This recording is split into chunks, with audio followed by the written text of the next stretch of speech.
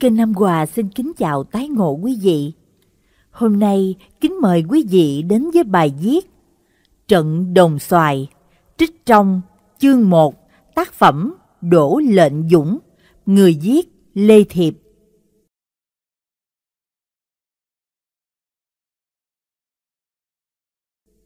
Tên chữ nó là Đôn Luân, nhưng với lính tráng tụi tôi gọi nó là Đồng Xoài, là nơi chẳng ăn chắc cú.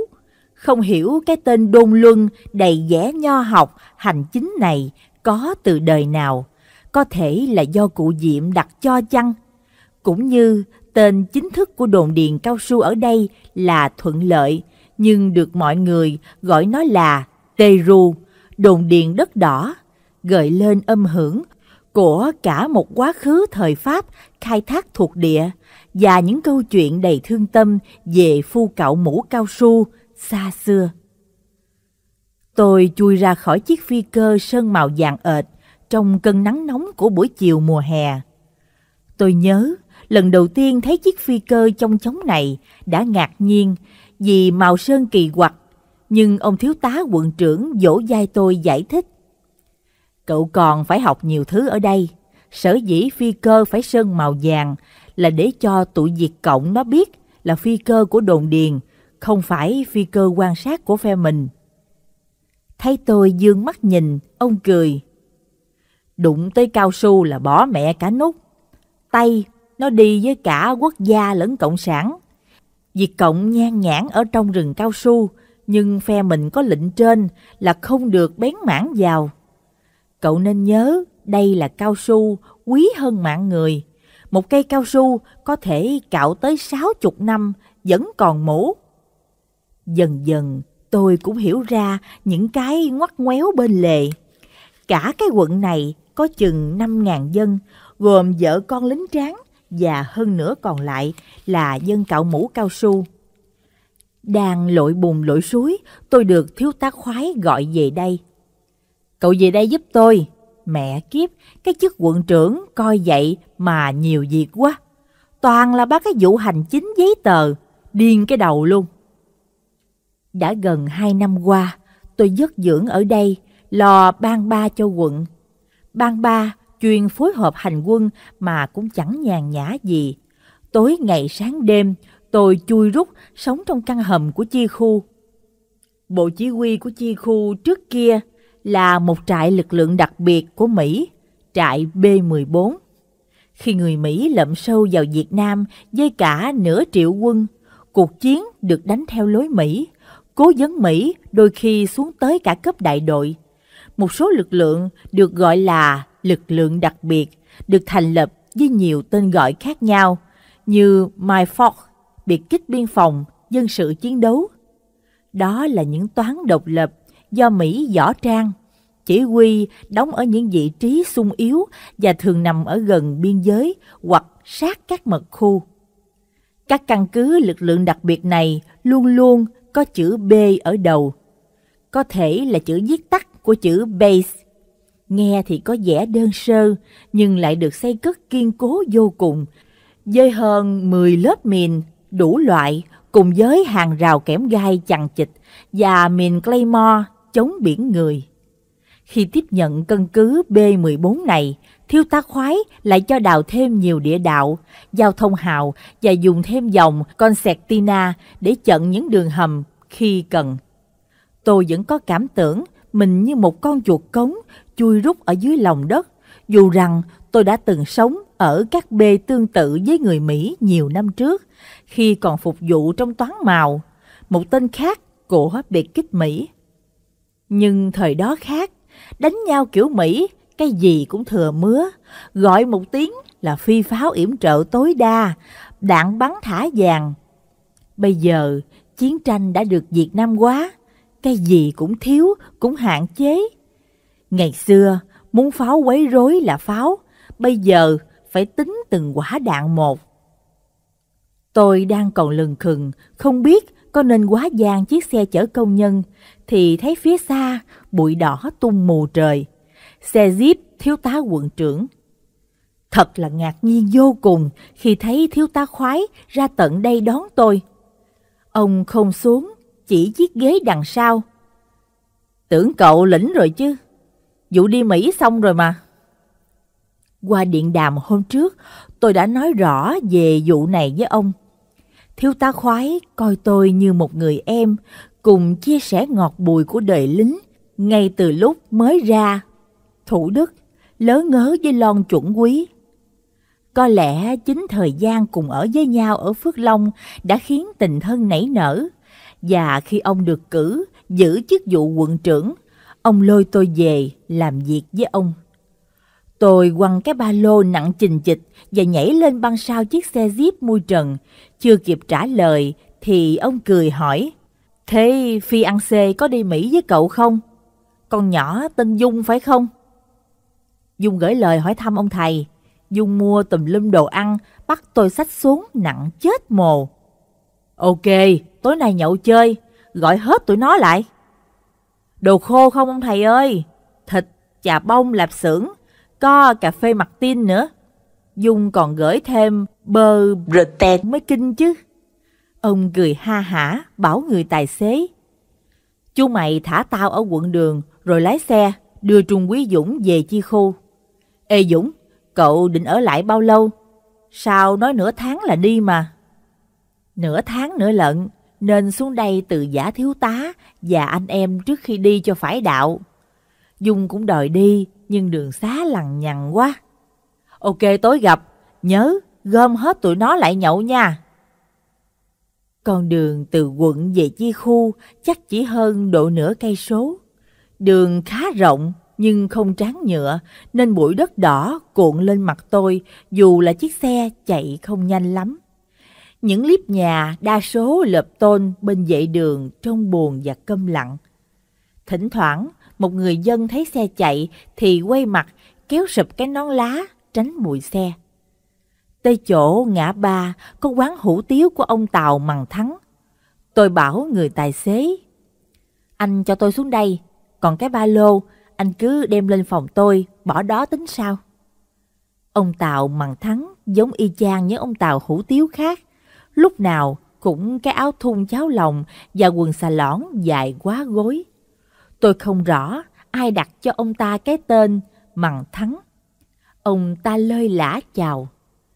Ờ, Trung Quý, về Sài Gòn vui không?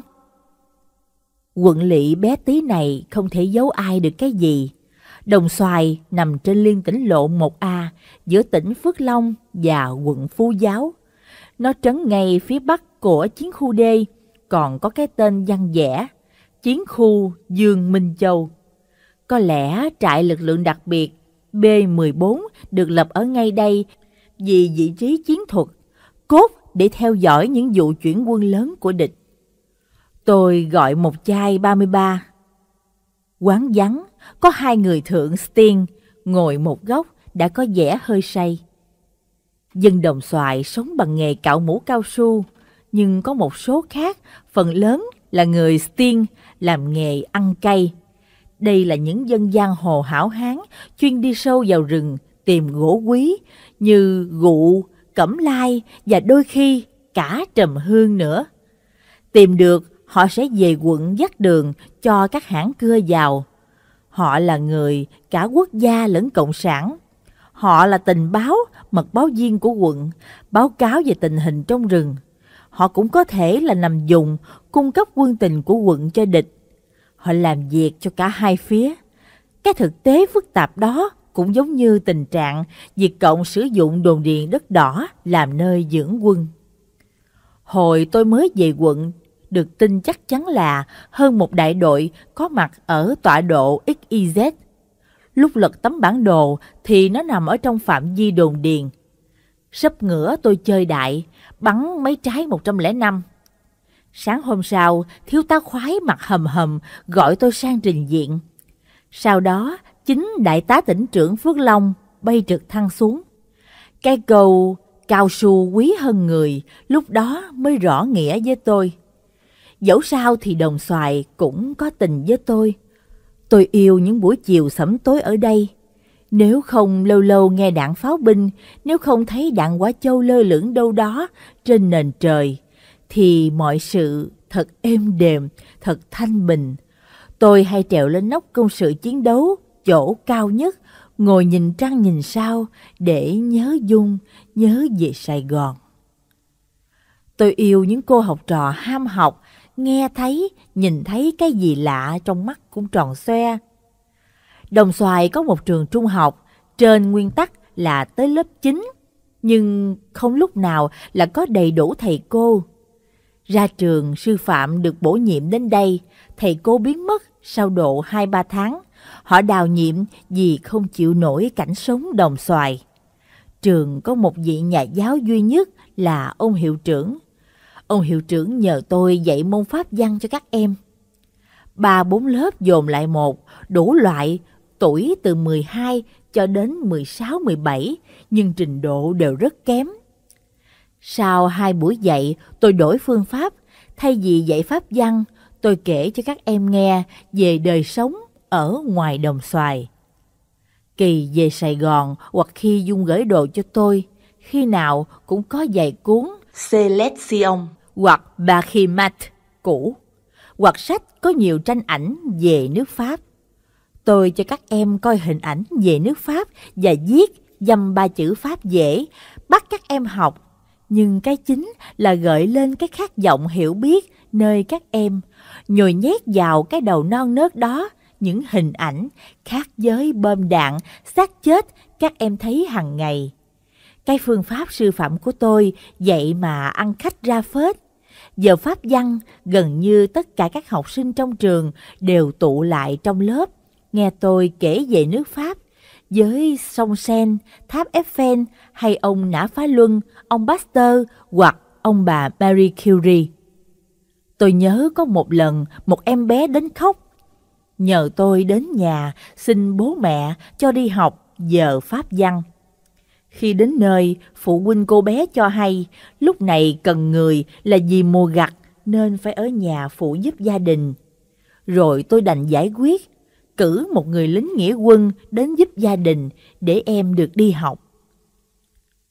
Đồng Xoài dù nằm ngay ngã ba liên tỉnh lộ 1A và quốc lộ 14 cách Phú Giáo cỡ độ 30 cây số và tỉnh lỵ Phước Long cỡ 30 cây. Nhưng đã bị cô lập từ lâu rồi. Phương tiện liên lạc duy nhất là trực thăng hay đôi khi là thả dù. Xăng nhớt cũng phải thả bằng trực thăng. Cũng có bến xe đò chạy đường đồng xoài, phú giáo. Nhưng khách toàn là đàn bà con nít. Xe có thể bị diệt cộng chặn lại bất cứ lúc nào nên lính tráng và cả những thanh niên còn trẻ có thể cầm súng, không ai dám đi xe đò. Trong cái cảnh đó, phi công của đồn điền cũng hiểu và luôn luôn dành một chỗ cho quận khi cần. Viên phi công người Pháp vẫn hay đấu láo với tôi, mỗi lần thấy mong sờ Dũng là cười toe toét. Tôi sắp xa đồng xoài, tôi sắp giả từ bom đạn. Tôi về đây là để từ biệt đồng xoài, nói những ân tình cuối với anh em đồng đội. Tôi đứng dậy, nhét tiền dặn dưới chai 33, lững thững đi về phía chi khu. Buổi chiều nóng nhưng êm ả. Bữa nhậu diễn ra ồn ào náo nhiệt với khô nai, cà ri gà. Mọi người chúc mừng tôi, tôi thấy rõ sự mừng rỡ trên khuôn mặt của đồng đội vì tôi sắp giả từ vũ khí. Đang ăn nhậu thì Trung Quý Lễ trưởng ban hai tình báo hỏi. Ông còn ở đây bao lâu? Chắc vài hôm là cùng. Ông coi dùm ban hai hộ tôi hai ba ngày được không? Tôi có việc gấp phải bay về Sài Gòn. Ba ngày thì được, ông cứ dọt đi, để tôi coi hộ cho. Tôi coi ban ba, Trung Quý Lễ coi ban hai, nhưng chúng tôi đã cùng nhau sáng sáng họp thuyết trình hành quân. Công việc của tụi tôi luôn luôn phải phối hợp từng giờ một, nên tôi biết rõ phận sự của ông Lễ. Coi hộ bằng hữu ba ngày thì nhầm nhò mẹ gì, nhưng không bao giờ tôi tưởng tượng được cái khúc quanh của cuộc đời tôi trong ba ngày kiêm chức trưởng ban hai, coi hộ Trung Quý Lễ. Không phải là ba ngày mà là gần ba chục năm sau, tôi mới được nghe tiếng người vợ sắp cưới, tiếng Dung. Hôm sau khoảng xế trưa, tin tình báo tới tấp về. Tôi nhớ Trung Quý Lễ dặn có hai nguồn tin rất chính xác là Z20 và A17. Nên ngay khi bắt tay lo ban hai, tôi đã hỏi ông chuẩn quý thắng về hai nguồn tin. Tuy làm việc phối hợp và nghe tin hàng ngày của ban hai, tôi không chú ý lắm đến cách thư lượng tin của họ. Hôm đó cả hai nguồn tin Z20 và A17 đều cho hay đã phát hiện nhiều đường dây điện thoại rừng và đây là dấu hiệu đáng ngại. Chỉ những đơn vị chủ lực và quân số cao khi di chuyển mới có dây điện thoại. Nguồn tin Z20 còn cho hay có những dấu tích có xe tăng địch nữa. Tôi đọc nhưng thật cũng chưa ước lượng đúng tầm dốc nguồn tin. Đúng lúc đó người trung sĩ cho hay có một mật báo viên muốn được gặp tôi. Vì nghĩ chỉ tạm bỡ có ba ngày nên tôi không muốn dính quá sâu vào trong công việc, bèn bảo viên trung sĩ dẫn mật báo viên đó đến gặp chuẩn quý thắng. Nhưng rồi viên trung sĩ lại trở vào cho hai người này chỉ xin gặp đích thân trung quý trưởng ban hai. Tò mò, tôi đồng ý tiếp. Trong người mật báo viên này giống như bất cứ người dân cạo mũ nào. Và ông ta cho hay là cơ sở bị lộ xin được bảo vệ. Tôi nói, tôi chỉ tạm giữ ban hai nội trong vài ngày, nên không rõ lắm về cơ sở. Và nếu ông là mật báo viên của quận thì chắc chắn phải có đường dây liên lạc khác. Không thể chạy sòng sọc vào chi khu xin bảo vệ. Thưa Trung Quý, tôi không thuộc tình báo quận, tôi thuộc phòng 7 tổng tham mưu. Tôi nằm dùng trong thuận lợi. Đây là mã số của tôi. Xin Trung Quý liên lạc ngay với tổng tham mưu vì tình hình rất nguy cập. Tôi xin được bốc đi gấp. Tôi khựng lại, bán tính bán nghi khi nhớ đến hai nguồn tin Z20 và A17. Ông có thể cho tôi biết tin tức chính xác. Thưa Trung Quý, tôi đã đưa mã số là tôi đưa cả mạng sống của tôi cho Trung Quý. Tôi chỉ có thể báo cáo với thẩm quyền trực tiếp tại Tổng tham mưu. Trên đó sẽ có những quyết định hợp với tình hình. Tôi quan sát người mật báo viên và tưởng tượng đến những điệp viên OSS hay CIA hoặc hơn nữa là Tống Văn Bình Z28. Trong ông ta chắc trên dưới 40, dáng vẻ cử chỉ và cách ăn nói chững chạc minh bạch. Một người cạo mũ không thể có phong thái như vậy. Tuy ở lính gần chục năm, tôi cũng chỉ nghe loáng thoáng về phòng 7 kỹ thuật của Bộ Tổng Tham mưu và biết lơ mơ rằng đây là bộ phận chuyên về tình báo và phản tình báo và có những hoạt động vô cùng bí mật. Suy nghĩ thấy vấn đề ngoài thẩm quyền, tôi nói với người mật báo viên. Được, để tôi đưa ông lên gặp thiếu tá quận trưởng. Bốc điện thoại, tôi nghe tiếng thiếu tá cùng với nhiều tiếng ồ ồ khác chen vào, chắc là đang ở hầm truyền tin. Trình thẩm quyền, xin được gặp vì có chuyện tối quan trọng, không tiện trình bày qua điện thoại. Ok, sang ngay. Bỗng tôi mỉm cười khi nhận ra ông quận của tôi hay xài chữ ok. Tôi thấy người mật báo viên gật đầu ra điều đồng ý với cách ứng xử của tôi. Thiếu tá khoái đứng chờ ở sân cờ. Hình như ông muốn nhân dịp này ngồi lên mặt đất hít thở chút không khí trong lành. Thấy tôi đi với một người cạo mũ cao su, ông ngạc nhiên, hất hàm, tỏ ý hỏi han. Tôi lắc đầu nói, vào trong nói chuyện tiện hơn thiếu tá. Ok, vào trong. Ông tiếp chúng tôi ở phòng làm việc, tôi nhắn tắt trình bày vấn đề. Người mật báo viên chỉ xin thông báo mã số của ông ta về Bộ Tổng Tham mưu mà không đòi hỏi gì thêm nữa. Thiếu tá khoái đồng ý, chính ông đi xuống hầm truyền tin để liên lạc qua một hệ thống đặc biệt với Tổng Tham mưu. Tôi ngồi đó cố gạ chuyện để moi thêm thông tin, nhưng người mật báo viên khôn khéo lãng tránh. Chừng nửa tiếng sau, thiếu tá khoái trở lại, gương mặt khác hẳn, ông trở lại ngồi sau bàn giấy. Cà phê mặt tiên hôm qua cậu cho còn nguyên, hộp bơ tè chưa khui. À quên, tôi vẫn chưa biết tên ông là gì. Thưa thiếu tá, tôi tên Bảy, Nguyễn Văn Bảy. Chúng tôi đều biết đó là tên giả, nhưng thiếu tá khoái rất lịch sự. Tôi đã liên lạc và trên đó cho hay trong vòng 1-2 giờ sẽ có người đến gặp ông Bảy.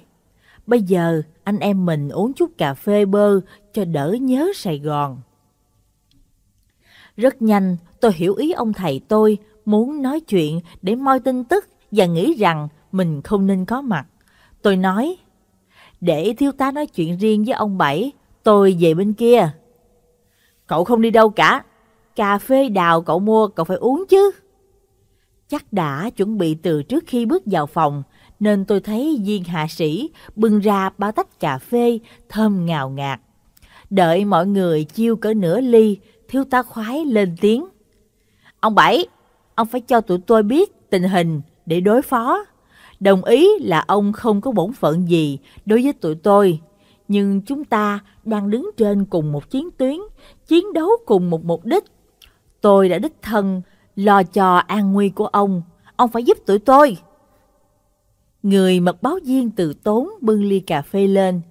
Cái cung cách cầm nâng tách, nhấm nháp ly cà phê cho thấy ông ta đã từng uống cà phê mặt tin có một chút bơ nhiều lần trước đây. Ông chậm rãi nhìn tôi, nhìn thiếu tá khoái. Địch sắp tấn công đồng xoài, cấp sư đoàn, có sự xuất hiện của công trường 7 với pháo và thiết giáp đang khép dòng dây. Thiếu tá và anh em ở đây chuẩn bị. Tôi không biết rõ ngày giờ, nhưng chính vì vụ này mà tôi bị lộ, phải quỷ vé truyền tin, trốn ra được đến đây. Xin cảm ơn thiếu tá đã giúp đỡ, liên lạc với thẩm quyền. Tôi chỉ có thể nói bao nhiêu đó với thiếu tá, và tôi nghĩ thế cũng đủ để giúp anh em ở đây. Còn tin hay không là tùy ở thiếu tá và anh em. Không thể không tin được vì chỉ hơn một tiếng sau, một trực thăng nhỏ xíu, xà xuống, bốc người mật báo viên đi. Ông quận nói với tôi, Cậu thông báo với tất cả sĩ quan tới phòng hành quân hợp khẩn, báo động 100% cho tôi. Thật ra thì lúc nào chúng tôi chẳng sống trong tình trạng báo động. Suốt những ngày tháng phụ trách hành quân, tôi hiểu rõ đồng xoài luôn luôn là cái đinh cần phải nhổ. Địch chiếm đồng xoài là cô lập Phước Long và nhất là có thể điều động một lực lượng lớn trong chiến khu D để làm áp lực cả khu vực Phước Long Bình Long.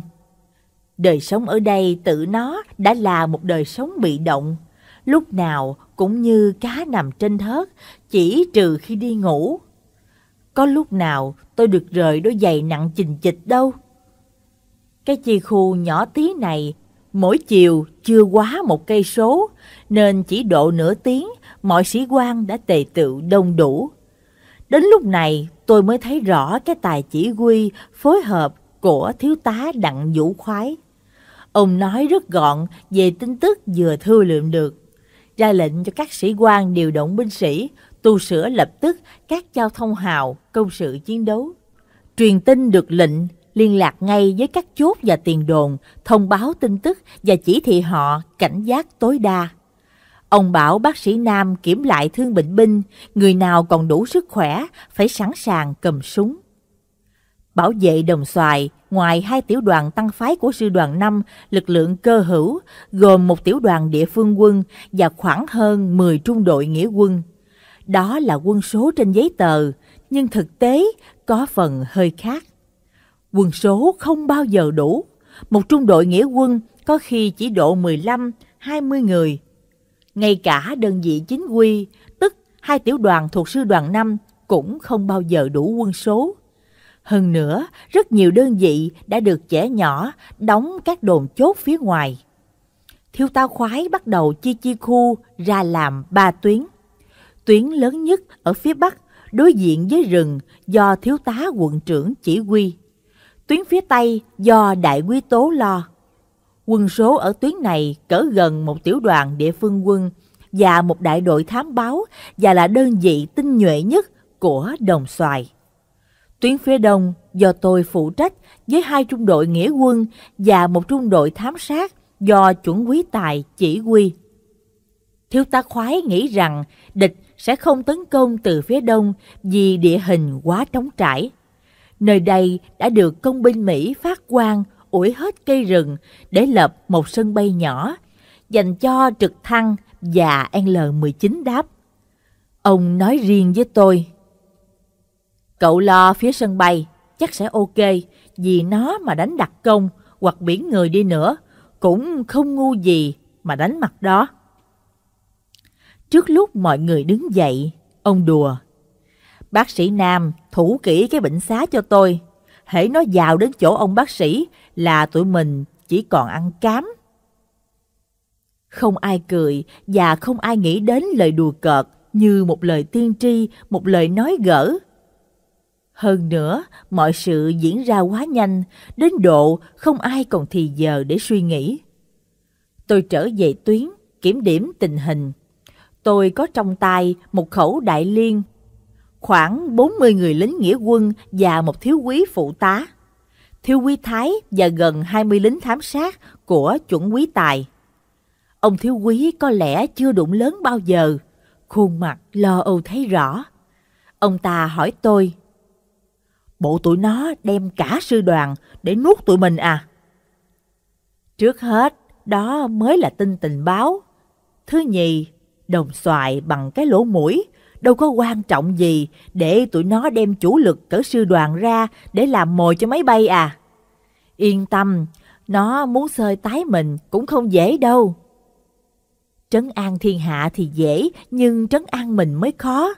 Hẳn là địch sẽ đánh, nhưng tôi cầu nguyện với trời đất là hãy gượm đã, để đợi Trung Quý Lễ về rồi hãy đánh. Nhưng lời cầu nguyện của tôi đã không thấu trời xanh vì địch tấn công ngay đêm đó.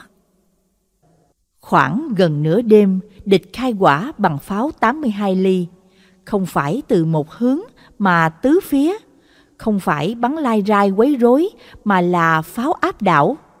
82 ly nổ rền trời từng chập. Tôi biết rất rõ là 82 ly không đủ sức xuyên phá hoặc gây tổn thất nặng nề vì hệ thống địa đạo giao thông hào và công sự chiến đấu được hết lớp tu bổ này đến kỳ tu bổ khác đủ sức che chở tụi tôi. Nhưng tôi còn biết rõ hơn 82 ly không bắn xa như 105, 155 hay quả tiễn 122 ly. Có nghĩa là tụi nó gần lắm rồi. Nhưng tôi không thể chia sẻ suy nghĩ này cho ai được. Đồng xoài có hai pháo đội, 105 và 155 ly. Tôi liên lạc mấy với pháo binh. Lúc này tôi đang ở dưới trung tâm hành quân của chi khu với thiếu tá khoái. Tôi đề nghị phản pháo nhưng thiếu tá khoái nói Tụi nó đặt súng ba bề bốn bên, không biết hướng nào chính, hướng nào phụ. Giả lại phải tiết kiệm đạn. Tuy vậy, tôi cũng thấy ông ta cho bắn một hai trái 105 để trả lời. Khoảng quá nửa đêm, mấy PRC-25 in ỏi gọi. Gần như tất cả các tiền đồn đều bị đánh. Các chốt chạm địch dữ dội. Tiếng máy PRC-25 rè rè. Tôi ngồi cạnh nghe các đơn vị bạn liên tu bất tận thông báo địch tình. Thiếu tá khoái nhận xét Tụi nó chỉ chơi 82 ly để quấy rối và cầm chân tụi mình. Nhớ cảnh giác, anh em đề phòng nó đánh đặc công. Cậu nhớ cho anh em luôn phiên nghỉ ngơi. Tôi e mình sẽ chết cứng ở đây cho đến khi tỉnh và quân đoàn giải tỏa. Tôi đi dọc giao thông hào dặn dò từng người một. Hễ cái gì nhúc nhích là bắn. Những chiếc quả châu lững lờ cũng đủ để quan sát tới tận hàng rào ngoài cùng. Đến gần sáng thì địch thôi không pháo tiếp. Từ trong lỗ châu mai, nơi để ổ đại liên, tôi nhìn ra ngoài hàng rào phòng thủ, qua một quãng đất trống khá rộng, cỏ lát hoặc cỏ gì tôi cũng chẳng rõ tên, có thể là cỏ tranh, tạo một dệt sẫm trên nền đất đỏ. Mọi sự im lìm, một sự im lìm đến rợn người. Tôi dỗ dài người trung sĩ giữ khẩu súng. Mong rằng mình không phải xài tới thằng em này. Viên trung sĩ dỗ vào càng súng. Xài tới thằng em này là chúng nó chơi biển người, chơi Alaso rồi ông thầy ơi. Chúng tôi cùng cười. Như vậy là chỉ mới pháo kiểu pháo giữ chân. Địch âm mưu gì đây? Một chiếc phi cơ bà già L-19 bay tích trên cao. Sự xuất hiện của chiếc phi cơ này vào khoảng gần trưa đã là một niềm kích lệ lớn cho binh sĩ. Họ thấy họ sẽ được phi pháo yểm trợ, nhưng tôi thì lại lo vô cùng. Trước hết, L-19 bay rất cao. Kinh nghiệm hành quân cùng không kỵ Hoa Kỳ cho thấy cao như vậy, quan sát của L-19 sẽ không chính xác. Điều đáng sợ thứ nhì, L-19 không dám xuống thấp vì sợ làm mồi cho phòng không địch. Điều lo sợ của tôi đã thành sự thật. Khoảng nửa giờ sau, hai khu trục bay đến đánh bom. Tôi chỉ là một trung quý quèn lo thủ một cái tuyến với vài chục mạng và một cây đại liên nên không biết rõ toàn diện của tình hình, không đủ yếu tố để nhìn bao quát thế trận.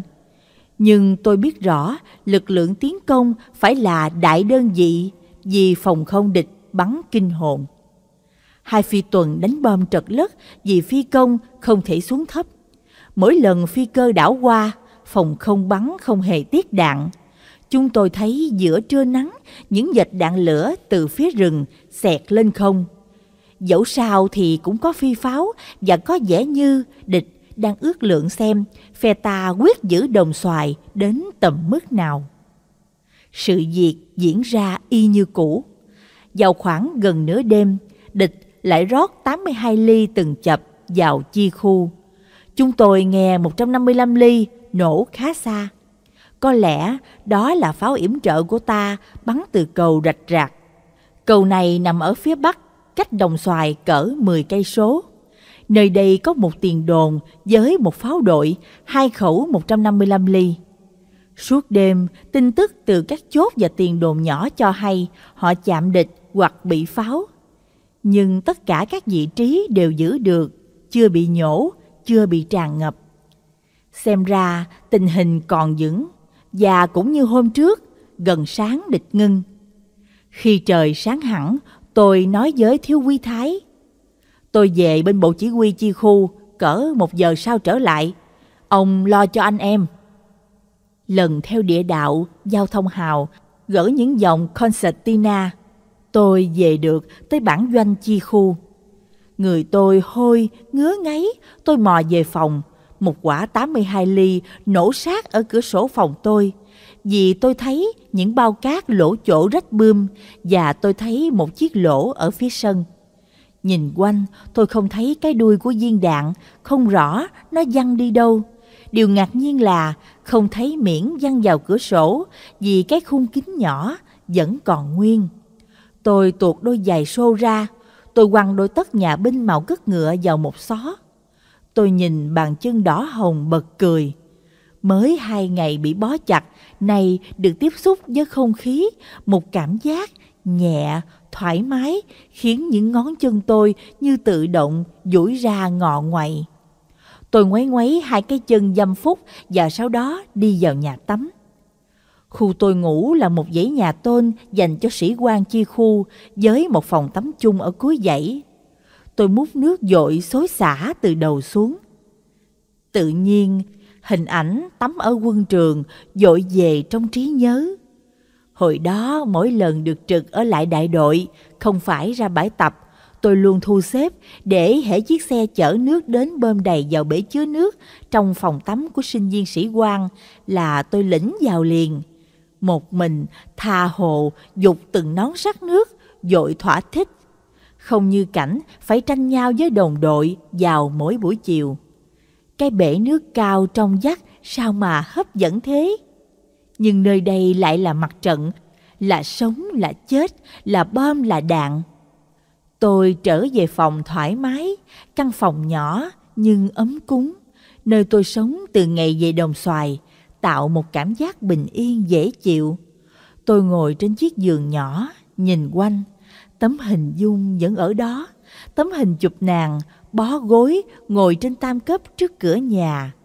Hình chụp ngược sáng, khuôn mặt Dung khuất lấp, nghịch ngợm. Bây giờ Dung đang làm gì? Tôi nhận ra trong suốt hai ngày qua tôi không bao giờ nghĩ đến Sài Gòn, nghĩ đến Dung. Tiếng bom đạn, không khí căng thẳng, cái chập chờn ma quái của quả châu. Và hơn cả, nỗi ám ảnh rằng cả một sư đoàn diệt Cộng đang siết gọng kìm quanh đồng xoài, khiến tôi không còn suy nghĩ nhớ nhung gì nữa. Thay quần áo xong, tôi khoác chiếc áo giáp, trồng cái mũ sắt, xốc lại giày táp và khẩu côn 45, từ từ đi về phía bản doanh của thiếu tá Đặng Vũ Khoái. Người thượng sĩ cận vệ của ông ra dấu rằng ông vừa vào phòng ngủ chưa đầy 5 phút.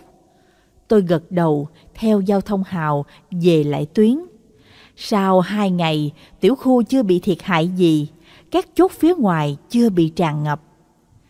Khoảng xế chiều, hai phi tuần tới đánh bom, nhưng theo quan sát của tôi, bom khó trúng mục tiêu dự trù vì được thả từ độ quá cao, không thể nào chính xác được. Nhưng sự có mặt của phi cơ là một động lực lớn trấn an mọi người. Địch lập lại trò cũ, gần nửa đêm là bắt đầu rót 82 ly. Có lẽ sau hai đêm, địch đã chỉnh cự ly chính xác hơn, nên đạn rơi vào dòng trong chi khu khá nhiều. Qua máy PRC, tôi biết hai nghĩa quân ở phía Đại Quý Tố thiệt mạng.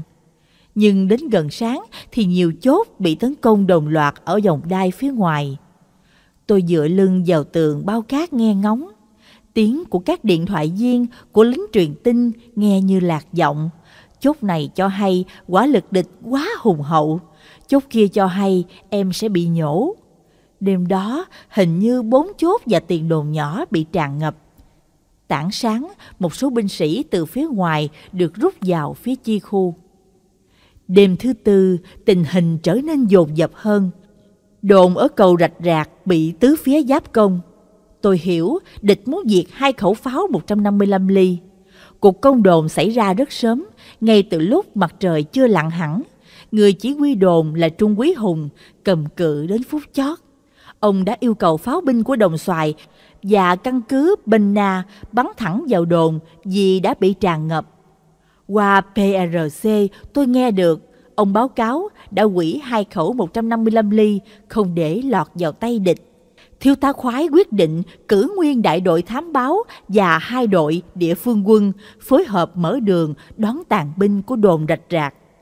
Trung Quý Hùng quả là một sĩ quan đầy kinh nghiệm ông đã đem được gần như toàn bộ sĩ quan và quân sĩ về đến chi khu. Khá nhiều thương binh, đặc biệt có một chuẩn quý mới ra trường, vừa khóc vừa cười, đôi khi lại rú lên những tiếng quảng loạn. Trung quý Hùng mặt phờ phạt bắt tay tôi, hất hàm về phía chuẩn quý. Vừa ra trường thì về với tôi, chắc lần đầu lại đụng quá lớn nên phát quản dám đứt mẹ nó dây thần kinh rồi. Chúng nó pháo như mưa, nhất là 122 ly.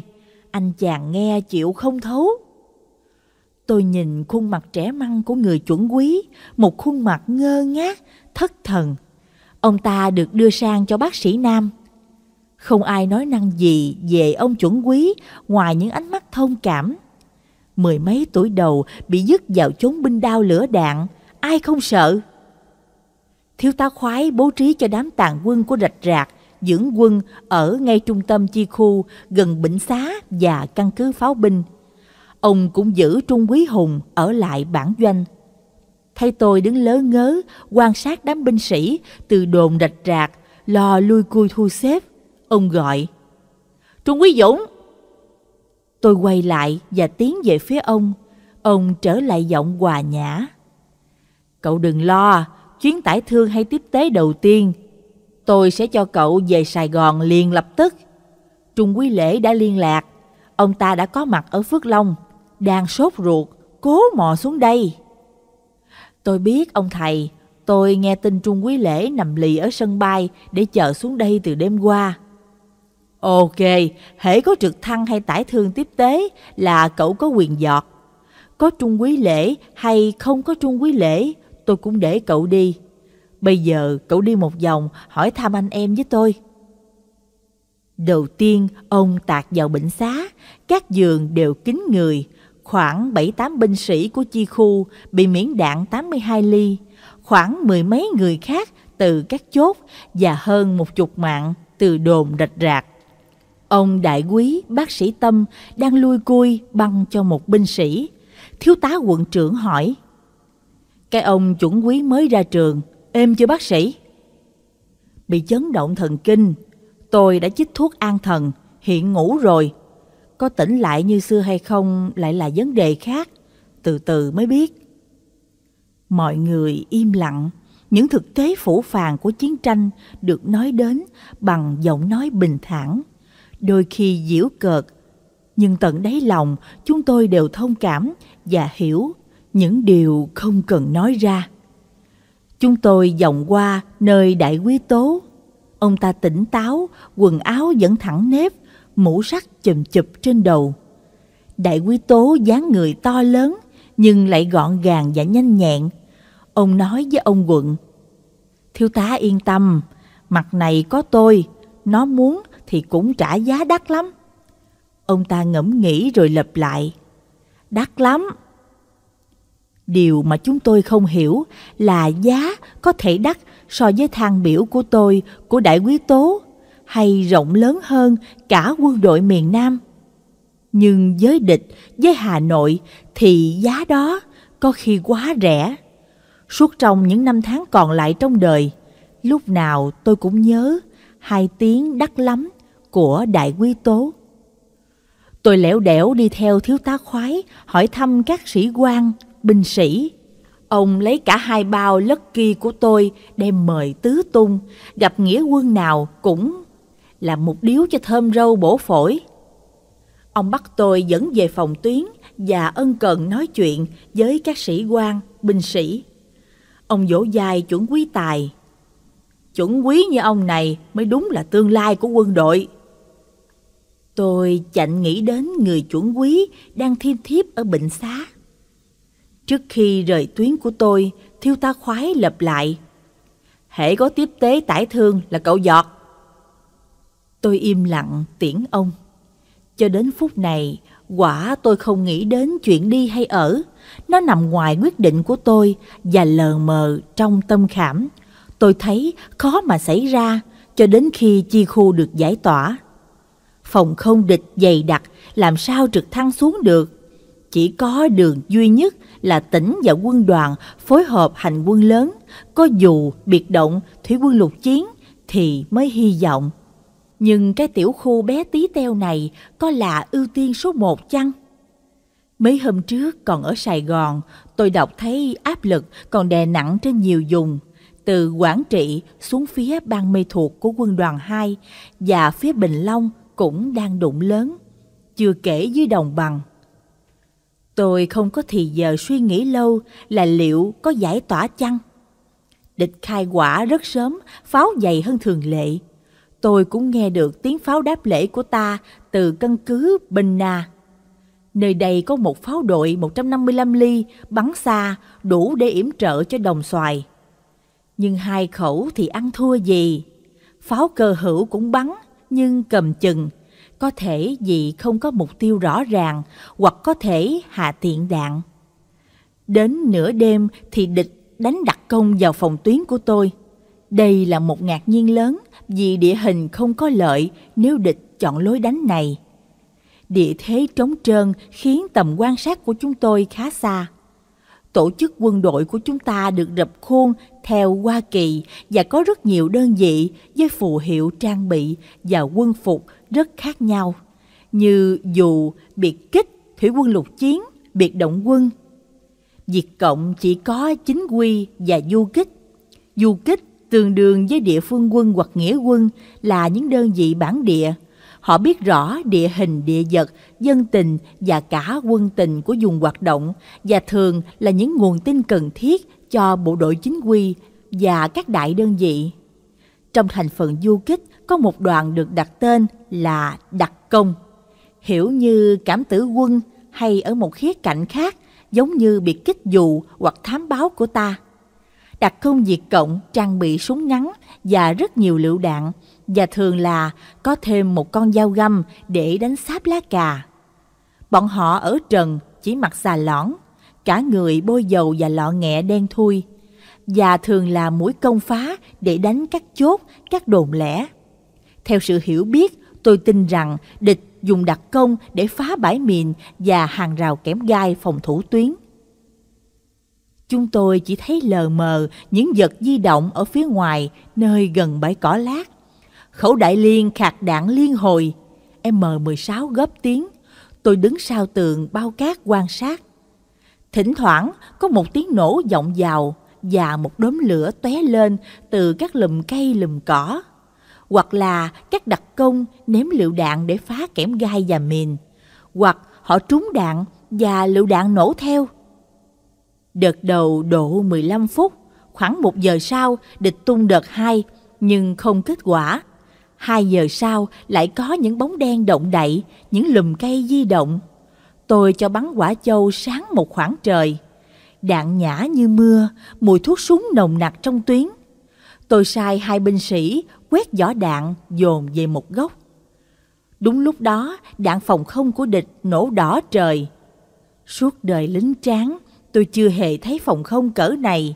Như lưới đan, đạn kẻ những vệt sáng đỏ. Chúng tôi nghe thấy tiếng phi cơ khu trục ầm ì trên cao và sau đó là chục tiếng bom. Đêm đó phi cơ đánh hai lần như e không kiến hiệu vì bom bỏ từ khá cao giả lại trời tối thui. Nhưng binh sĩ thì yên tâm thấy rõ, họ tin họ không bị bỏ rơi. Như vậy là đủ với chúng tôi. Số tiền đồn và số chốt ở sát chi khu không còn lại bao nhiêu. Tới gần sáng, qua máy truyền tin tôi nghe tiếng chuẩn quý tơ là in ỏi. Tôi biết rõ ông chuẩn quý dễ thương, người đâu ở miệt Vĩnh Long, đang học dược, thì bị đi lính vào Thủ Đức. Tơ vui tánh và hay diễu và nhậu khá giỏi, thích uống đế pha xá xị con cọp. Tôi thì chịu, không chơi nổi cái món cốc tai kinh hoàng này, uống vào là nhức đầu như búa bổ. Có lần tôi hỏi, sao tơ lại uống đế pha xá xị? Tơ cười bảo, lương chuẩn quý nhiều trung quý biết không? Pha xá xị còn chưa đủ tiền trả. Làm gì dám chơi bam ba đều đều. Nhưng qua mấy truyền tin, giọng tơ lạc hẳn đi. 9 giờ tối, chốt bị nhổ, bị đặc công đánh bật khỏi vị trí. Chuẩn quy tơ vừa đánh vừa rút, đem về chi khu được gần một trung đội, nhưng hơn nữa là thương binh. Cái tình tơ đem về làm chúng tôi rúng động. Tôi cho hay chính anh thấy và đếm được 13 chiếc T-54 càng lên, nên rằng mìn và kém gai không thể chặn nổi. Hôm đó, hai chiếc C-123 quần trên cao thả dù tiếp tế.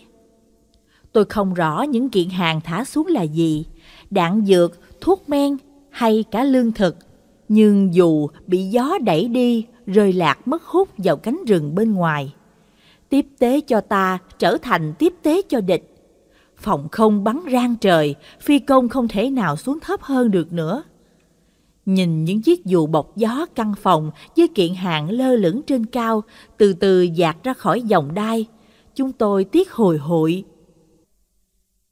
Quý vị vừa nghe xong kỳ một của bài viết Trận Đồng Xoài, trích trong chương 1, tác phẩm Đỗ Lệnh Dũng, người viết Lê Thiệp. Kênh Nam Hòa xin gửi lời cảm ơn đến tác giả và cũng đồng thời cảm ơn quý vị đã cùng theo dõi bài viết này. Xin hẹn gặp lại quý vị ở kỳ thứ hai của bài viết. Kính chúc quý vị một ngày an lành.